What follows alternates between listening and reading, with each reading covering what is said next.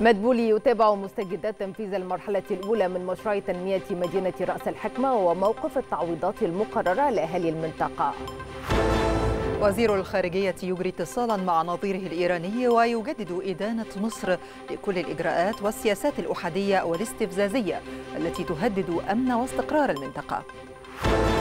إصابة عشرات الإسرائيليين جراء حادث دهس بالقرب من تل أبيب ومقتل منفذ العملية. الثالثة مساء بتوقيت القاهرة الثانية عشرة بتوقيت جرينتش نشرة إخبارية مفصلة تأتيكم من التلفزيون المصري. أهلا بكم.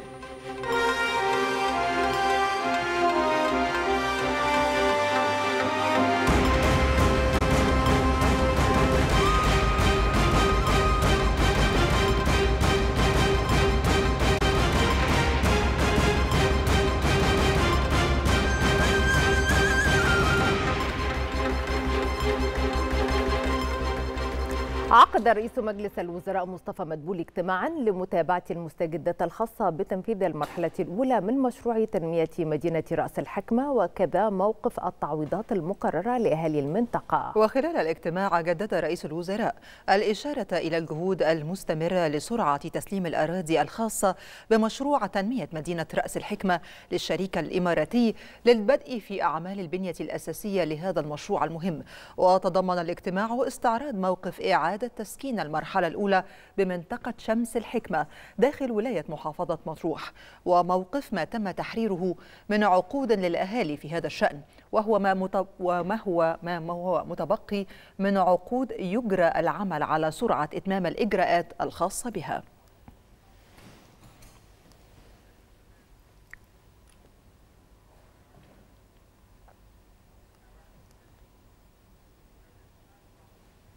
ترأس رئيس مجلس الوزراء مصطفى مدبولي اجتماع المجلس الأعلى للتخطيط والتنمية العمرانية لمتابعة موقف ما تم اتخاذه من قرارات خلال جلسة المجلس السابقة.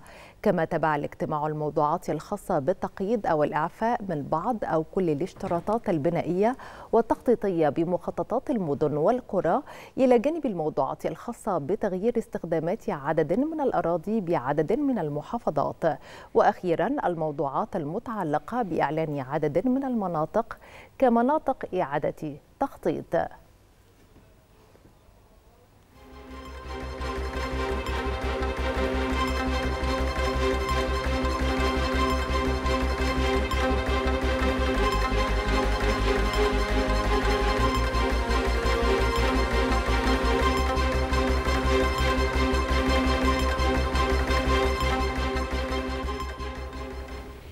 جدد وزير الخارجية والهجرة بدر عبد العاطي إدانة مصر لكل الإجراءات والسياسات الأحادية والاستفزازية التي تهدد أمن واستقرار المنطقة وتؤدي إلى تأجيج الوضع بها.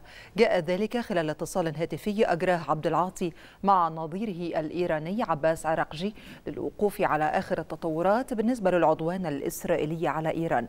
وخلال الاتصال شدد وزير الخارجية على ضرورة منع التصعيد واتخاذ خطوات تسهم في تحقيق التهدئة وعدم استدراج المنطقة إلى حرب إقليمية تؤدي إلى تداعيات وخيمة على شعوب المنطقة.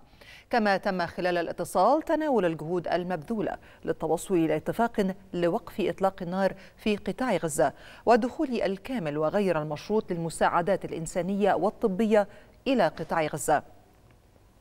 كما تم بحث الجهود المبذولة لوقف العدوان الإسرائيلي على لبنان.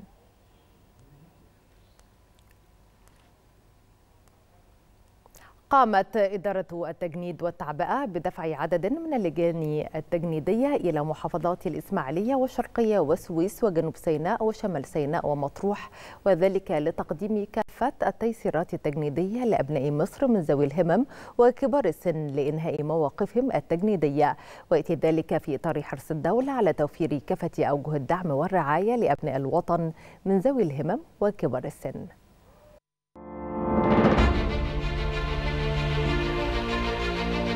في إطار حرص الدولة المصرية على توفير كافة أوجه الدعم والرعاية لأبناء الوطن من ذوي الهمم وكبار السن وانطلاقا من المسؤولية الاجتماعية التي توليها القيادة العامة للقوات المسلحة للتيسير عليهم في أماكن تواجدهم بالمحافظات التابعين لها.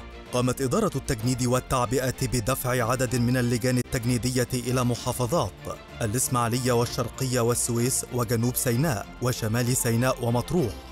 وذلك لتقديم كافة التيسيرات التجنيدية لأبناء مصر من ذوي الهمم وكبار السن لإنهاء مواقفهم التجنيدية ومنحهم شهادات المعاملة التجنيدية بالمجان. وخلال مراسم تسليمهم الشهادات ألقى اللواء محمد صبحي مهنا مدير إدارة التجنيد والتعبئة. كلمة أكد خلالها حرص القوات المسلحة على تقديم كافة أوجه التيسيرات الممكنة لتسهيل إنهاء إجراءات المواقف التجنيدية لذوي الهمم وكبار السن.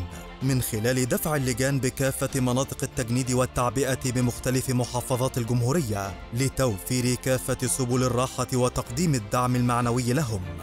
كما تضمنت المراسم تقديم عدد من الفقرات الفنية لذوي الهمم.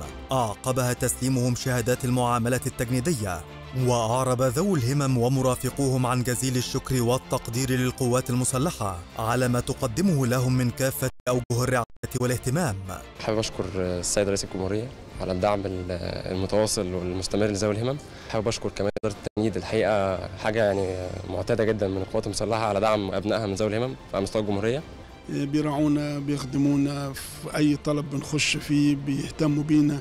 ما تعبناش في أي حاجة الناس كلها مية مية والناس على أكمل وجه مراعين الناس آخر مراعية. ربنا يبارك في الجيش يا رب وإحنا في ظهر الجيش. تحيا مصر تحيا مصر.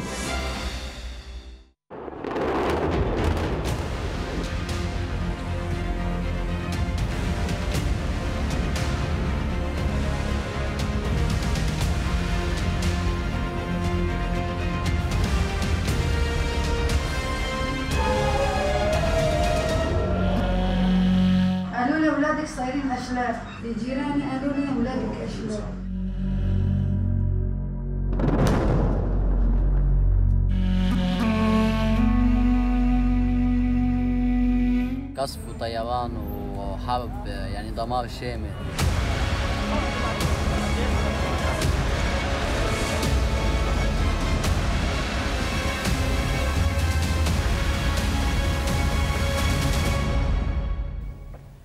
أعلن الجيش الاحتلالي الإسرائيلي رصد طائرتين مسيرتين عبرتا من لبنان وتم اعتراضهما فوق مناطق مفتوحة.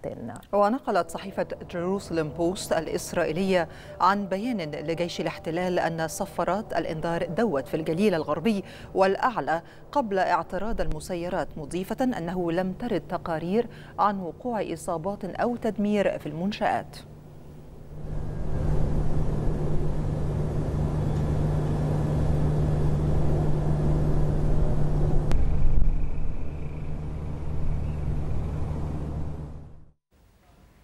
أفادت الوكالة الوطنية للإعلام اللبنانية بأن غارة إسرائيلية استهدفت الضاحية الجنوبية لبيروت معقل حزب الله. وكان الجيش الإسرائيلي قد دعا قبيل ذلك سكان منطقتين في الضاحية الجنوبية للعاصمة اللبنانية إلى إخلاء منازلهم متحدثا عن وجود منشآت ومواقع تابعة للحزب. وفي سياق متصل قصف حزب الله اللبناني مستعمرة كريات شمونة بالصواريخ.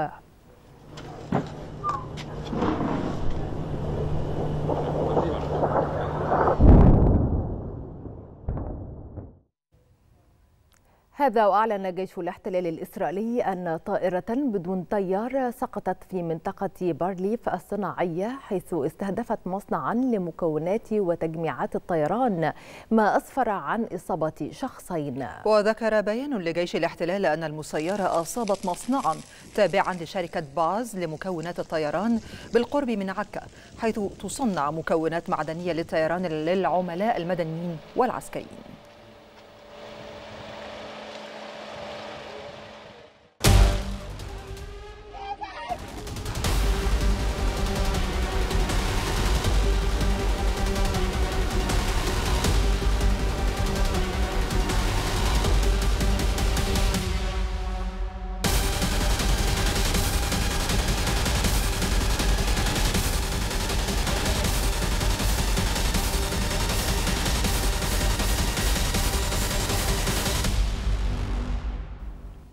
أجرى وزير الخارجية والهجرة بدر عبد العاطي اتصالا هاتفيا مع رئيس الوزراء وزير الخارجية الفلسطيني محمد مصطفى حيث تناول الاتصال تطورات العدوان الإسرائيلي على قطاع غزة والضفة الغربية.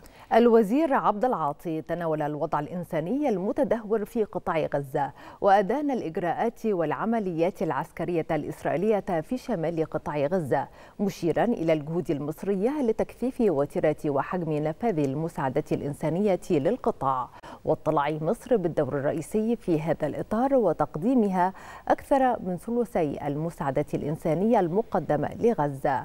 واستنكر الوزير عبد العاطي العراقيل التي يضعها الجيش الإسرائيلي أمام إدخال المساعدات الإنسانية إلى غزة وسيطرته على الجانب الفلسطيني من معبر رفح فضلا عن تقويض عمل منظمات الإغاثة الإنسانية ووكالات الأمم المتحدة. ومن جانبه أعرب رئيس الوزراء وزير الخارجية الفلسطيني عن بالغ تقديره للرئيس عبد الفتاح السيسي وجهوده الرامية لدعم الشعب الفلسطيني.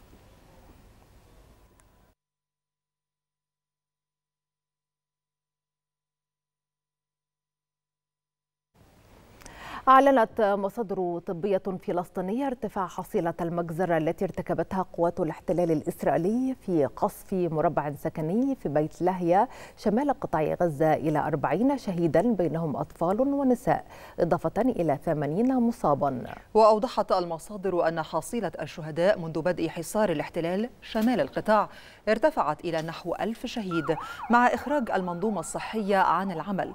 وتواصل قوات الاحتلال عدوانها على قطاع غزة برا وبحرا وجوا منذ السابع من أكتوبر 2023 ما أسفر عن استشهاد 42924 فلسطينيا وإصابة 100833 آخرين أغلبهم من الأطفال والنساء في حصيلة غير نهائية إذ لا يزال الآلاف المفقودين تحت الأنقاض.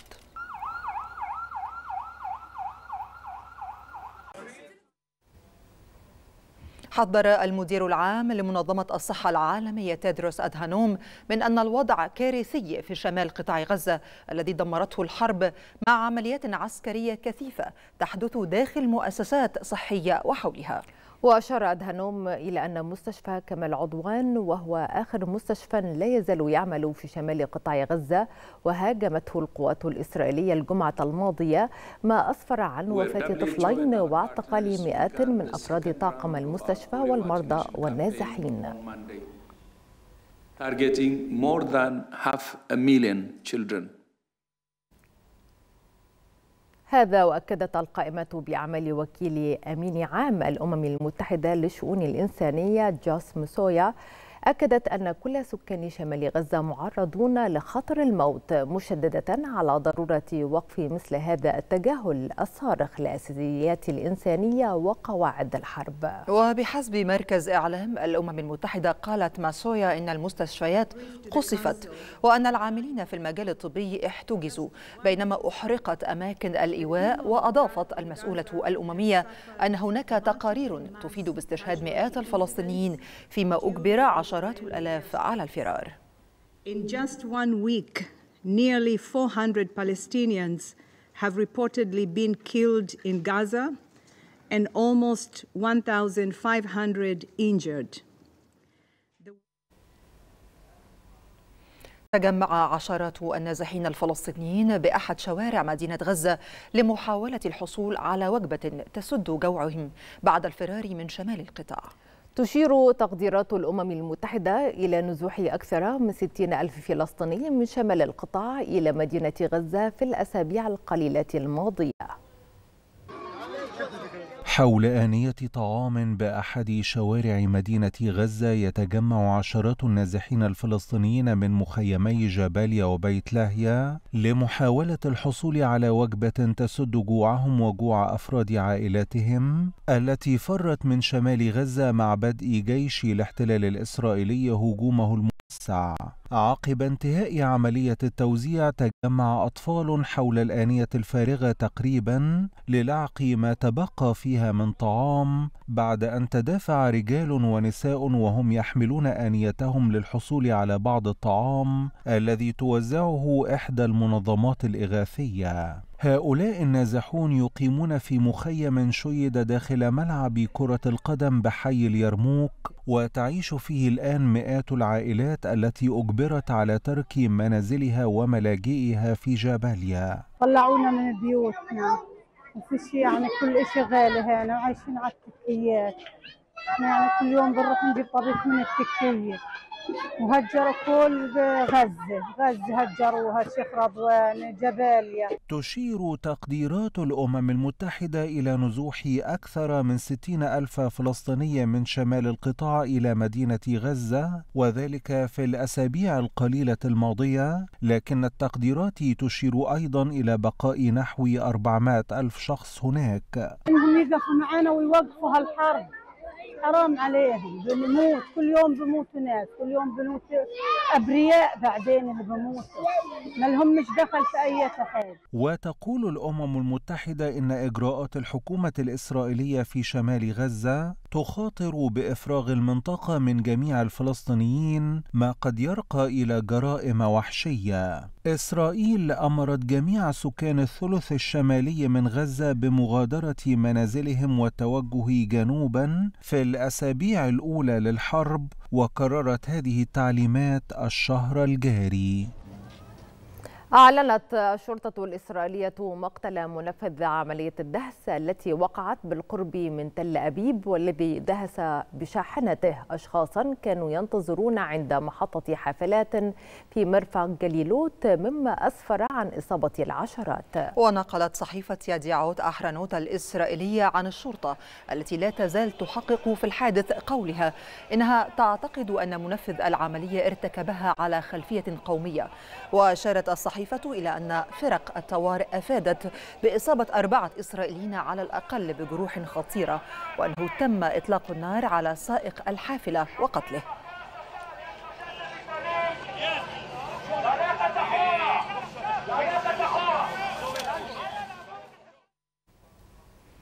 قال مسؤول مطلع لرويترز إن مدير المخابرات المركزية الأمريكية ورئيس جهاز الموساد الإسرائيلي ورئيس الوزراء القطري سيجتمعون اليوم في الدوحة.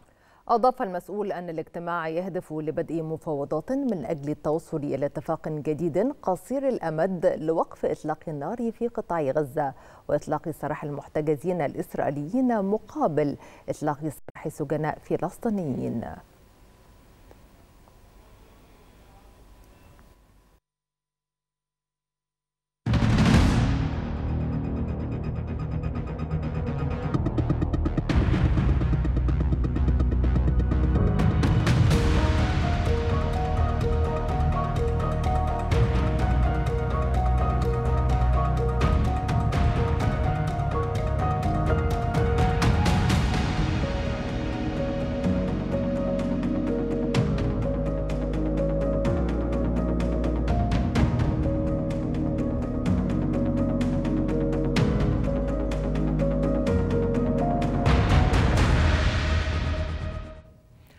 تواصل مصر جهودها الدؤوبة لإدخال المساعدات للأشقاء في قطاع غزة رغم العراقيل من الجانب الإسرائيلي. وأمام بوابة معبر رفح من الجانب المصري يقف رجال مصريون بشاحناتهم لفترة تمتد أحيانا لشهور لينسجوا قصة عن أبناء مصر الذين يرفضون ترك إخوانهم في قطاع غزة دون مساعدتهم. يجتمعون سويا يتناقشون ويتسامرون. في أمور الحياة تارة وفي أحوال الأشقاء الفلسطينيين تارة أخرى. سائقو شاحنات المساعدات الإنسانية يقضون وقتهم على الطرقات أكثر من بيوتهم. املا في أن تكون الأمور أفضل ويعود تدفق الشاحنات الإغاثية من جديد. بعد أن أغلقت قوات الاحتلال معبر رفح الفلسطيني وأصبحت تتعنت في دخول الشاحنات من معبر كرم أبو سالم. زي ما أنت شايف الوضع يعني مفيش دخول مفيش يعني الحاجة المتكدس برضه وكده. أنا محمل بقالي شهرين من بورسعيد من مواد غذائية. والله الوضع هنا هم ما بياخدوش البضاعة اللي هي بتاعت الانوروا كل البضاعة اللي بتروح اللي محملين دقيق محملين أي حاجة تانية محملين بطاطين. إنما بتاعت الانوروا غضبانين عليها. ليه ما نعرفش؟ ده الأمر الطبيعي. أنا بقالي أربع شهور و10 أيام. النية ما عندنا أصلا لما اتعرضت علينا الحمولة الاثنين قلنا مساعدة هنروح نساعد الناس اللي مش لاقية تاكل ده أكل هنوديه لهم. وفي نفس الوقت شغل زي أي شغل بالنسبة لي. بس ما كناش متوقعين إن إحنا نتحنط الفترة دي كلها يعني عدينا الأربع شهور.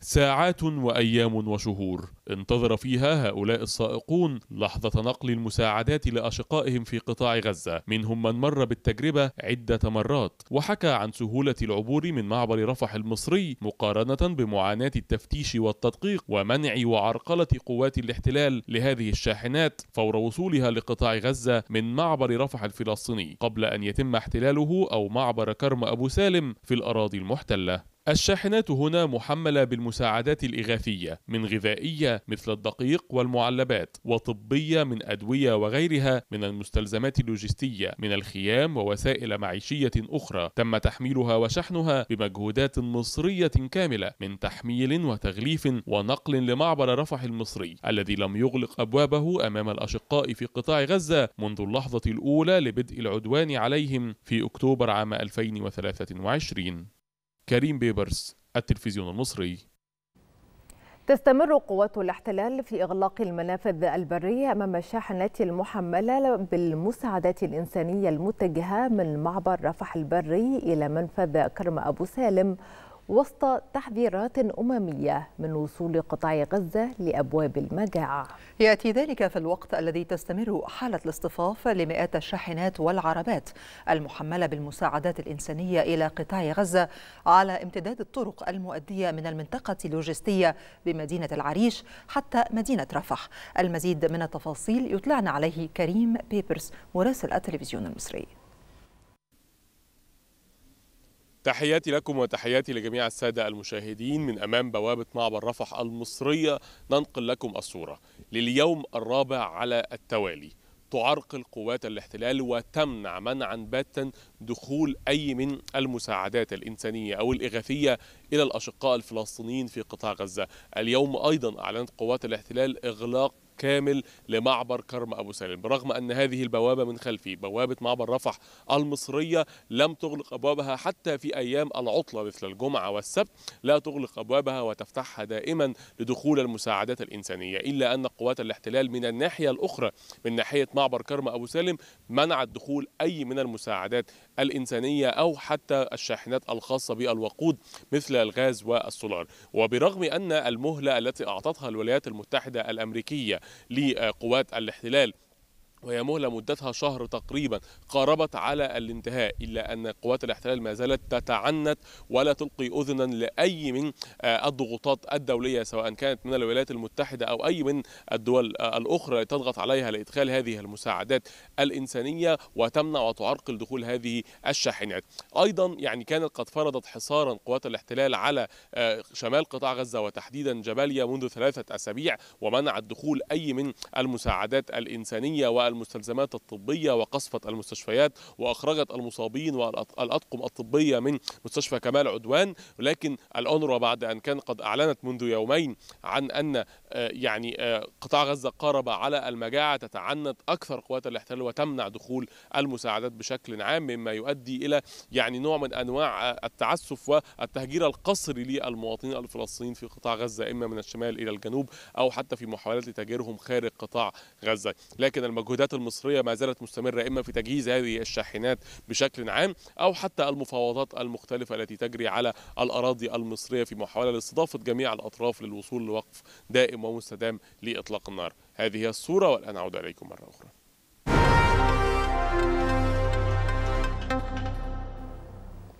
قال المرشد الإيراني علي خامنئي إن على المسؤولين الإيرانيين أن يحددوا أفضل السبل لإظهار قوة إيران لإسرائيل بعد الهجوم الإسرائيلي. وأضاف أنه لا ينبغي تقليل من شأن الشر الذي ارتكبته إسرائيل قبل ليلتين أو المبالغة فيه. وقللت إيران أمس من أثر الهجوم الجوي الإسرائيلي الذي استهدف مواقع عسكرية إيرانية وقالت إنه لم يتسبب إلا في أضرار محدودة.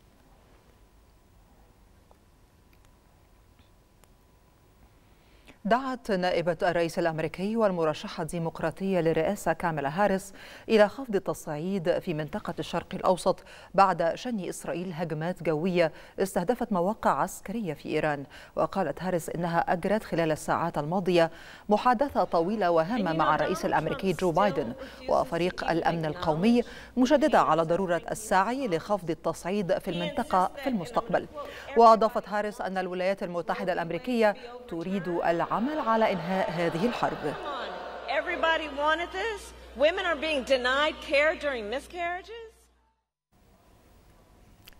ذكرت صحيفة نيويورك تايمز الأمريكية ذكرت أن إيران قللت إلى حد كبير من حجم الهجوم الإسرائيلي على أراضيها لكنها تواجه الآن قرارا بشأن كيفية الرد. أوضحت الصحيفة أن الضربة الإسرائيلية على إيران تمثل تصعيدا جديدا. حيث استهدفت إسرائيل منشآت عسكرية في هجومها وتجنبت المواقع النووية الحساسة التي حذرت الإدارة الأمريكية من ضربها.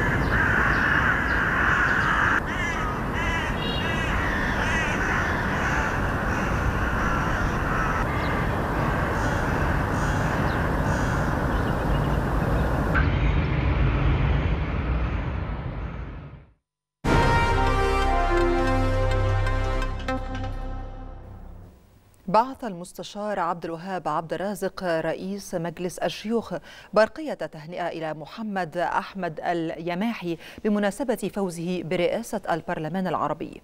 كما هنأ رئيس مجلس الشيوخ دولة الإمارات العربية المتحدة الشقيقة على هذا الإنجاز المشرف الذي يعكس مكانتها البارزة ودورها الإيجابي. كذلك هنأ رئيس مجلس الشيوخ النائب طارق نصير وكيل لجنة الدفاع والأمن القومي بالمجلس لفوز فوزه بمنصب نائب رئيس البرلمان العربي متمنيا له التوفيق في مهامه الجديدة.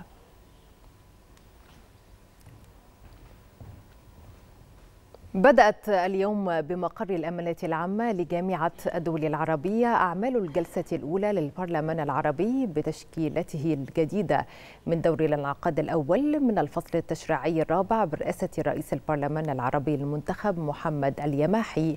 ويأتي ذلك لمناقشة التطورات السياسية والاقتصادية والاجتماعية والثقافية على الساحة العربية خاصة تداعيات استمرار العدوان الإسرائيلي على غزة ولبنان حيث ألقى رئيس البرلمان كلمة أكد فيها أن البرلمان العربي سيظل على موقفه الثابت والداعم دائما للقضية الفلسطينية.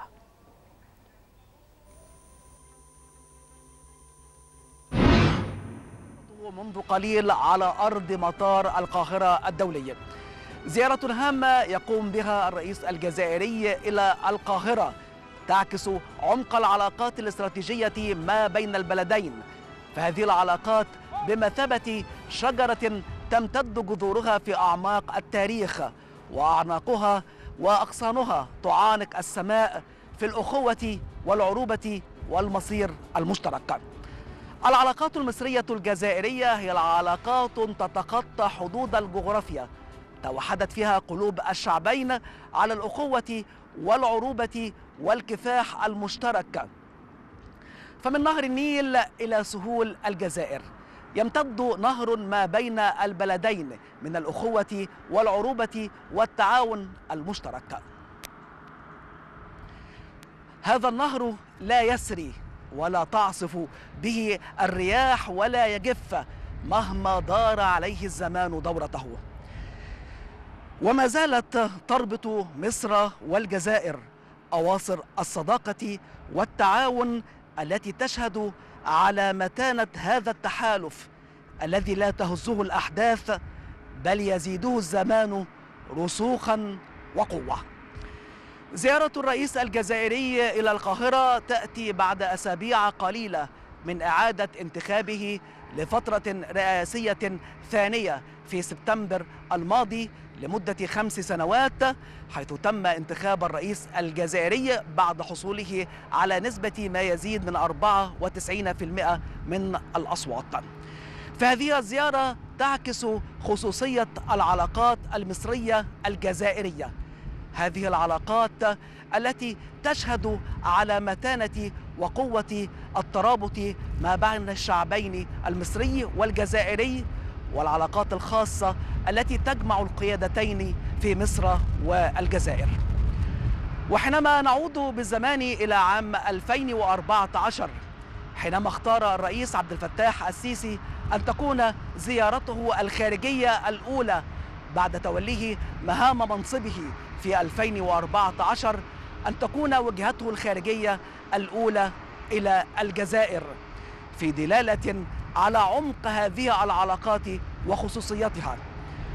وأكد السيد الرئيس عبد الفتاح السيسي في زيارته إلى الجزائر عام 2014 أن الهدف من هذه الزيارة هو إطلاق تفاهم حقيقي ورؤية موحدة تجمع مصالح الشعبين والدولتين مصر والجزائر والمنطقة. لكن المتابع لتاريخ الأحداث والعلاقات الثنائية ما بين مصر والجزائر يتوقف طويلا أمام عام 2022 فهذا العام يعد عاما فارقا في تاريخ العلاقات المصرية الجزائرية. ففي مطلع عام 2022 في الرابع والعشرين والخامس والعشرين من يناير. قام الرئيس الجزائري عبد المجيد تبون بزيارة هامة إلى القاهرة حيث استقبله السيد الرئيس عبد الفتاح السيسي آنذاك وتم عقد لقاء قمة ما بين الزعيمين الرئيس السيسي والرئيس عبد المجيد تبون. واتفق الزعيمان خلال أعمال تلك الزيارة على إعادة تفعيل اللجنة العليا المشتركة ما بين البلدين على مستوى رئيسي الوزراء في مصر والجزائر. كما اتفق أيضا على تفعيل آلية التشاور السياسي بين مصر والجزائر على مستوى وزراء الخارجية. وأيضا اتفق الزعيمان خلال أعمال هذه القمة على أن يتم تفعيل عمل هذه اللجان في النصف الأول من عام 2022 ونتابع مع حضراتكم الآن وصول طائرة الرئيس الجزائري عبد المجيد تبون إلى أرض مطار القاهرة. ومراسم استقبال رسمية في انتظار ضيف مصر العزيز حيث سيكون في استقباله السيد الرئيس عبد الفتاح السيسي. العلاقات المصرية الجزائرية علاقات تضرب بجذورها في أعماق التاريخ فعلاقات مميزة ومتميزة على كافة الأصعدة السياسية والاقتصادية والثقافية والرياضية. ونعود مرة أخرى إلى عام 2022 الذي يعد عاما فارقا في تاريخ العلاقات المصرية الجزائرية. ففي النصف الأول من هذا العام وبالتحديد في التاسع والعشرين والثلاثين من شهر يونيو من 2022 تم عقد اللجنة العليا المشتركة المصرية الجزائرية على مستوى رئيسي الوزراء بعد توقف دام لثمانية سنوات.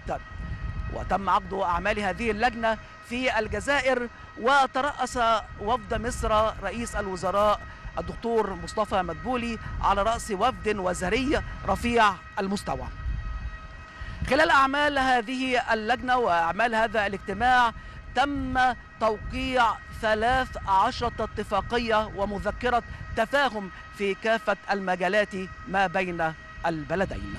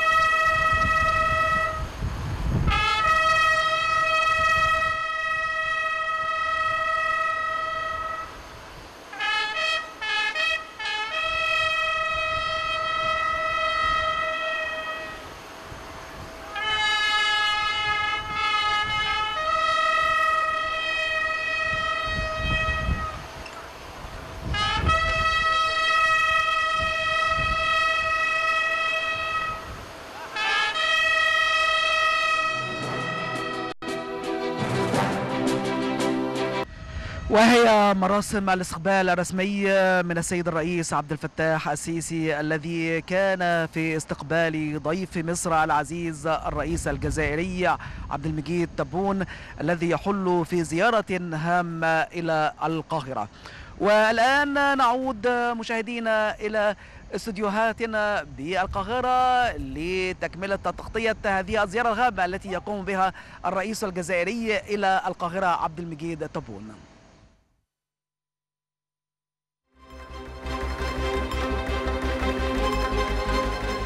إذا مشاهدينا الكرام نقلنا لحضراتكم مراسم استقبال السيد الرئيس عبد الفتاح السيسي للرئيس الجزائري عبد المجيد تبون والذي يحل ضيفا على مصر.